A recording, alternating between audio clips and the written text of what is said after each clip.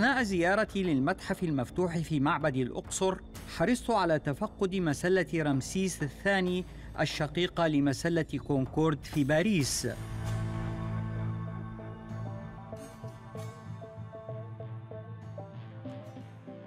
في الأصل هنا أمام واجهة معبد الأقصر كان مسلتين.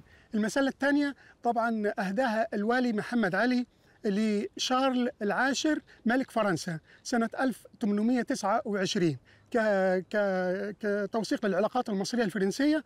وبعد كده شارل العاشر إدى أو أهدى مصر محمد علي إداله ساعة موجودة حاليا في في القلعة في القاهرة. طبعا بالنسبة للمسألة الثانية هو محمد علي أو الوالي محمد علي كان مقرر إنه يهدي المسلتين.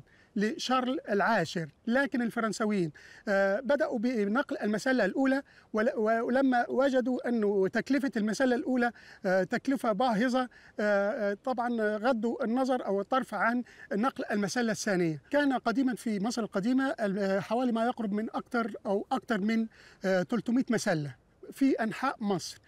لا يكاد يخلو أي معبد قديم من من من مسلة لأنه المسلة تعتبر عنصر معماري رئيسي في تخطيط المعبد بالإضافة إلى أنها تعتبر رمز ديني للمعبود امون را أو را طبعا الكثير من المسلات تم نقله خارج مصر. حاليا يوجد عندي في في داخل مصر في العصر الحديث ما يقرب من 18 مسلة. في خارج مصر كانوا أكثر من 52 مسلة بس لكن حاليا هم 52 مسلة.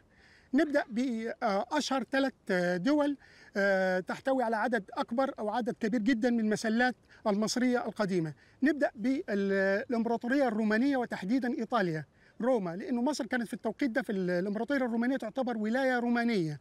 فكانوا الأباطرة الرومان يحرصون على نقل المسلات إلى روما وإلى إيطاليا تحديدا. فعندنا في إيطاليا حوالي ما يقرب من 18 مسلة لكن هم في الأصل كانوا 48 مسلة. وتم في بعض الأحداث تم تهشيم وتكسير الكثير من المسلات فأبقينا حاليا على 18 مسلة. 18 مسلة أشهرهم مسلة ميدان الليتران.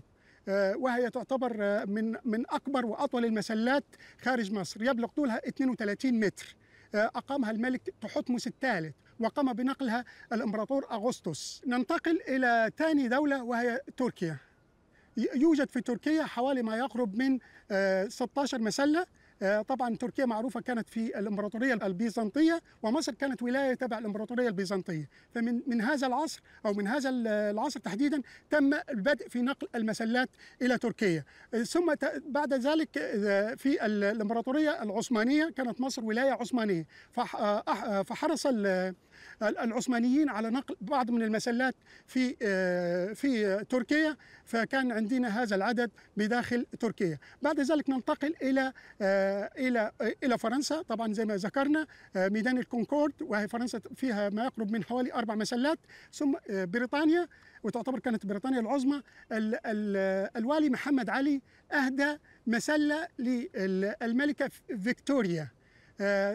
وذلك لتوثيق العلاقات ما بين مصر وبريطانيا في هذا التوقيت. وهي مقامة حاليا في في بريطانيا. يوجد عندنا ست مسلات.